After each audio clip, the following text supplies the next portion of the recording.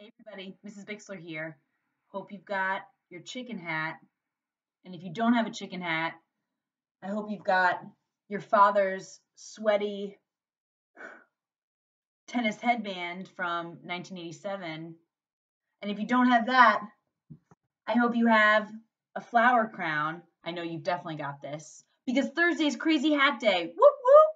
So find a fun hat, wear it, have fun. We love you. See you soon.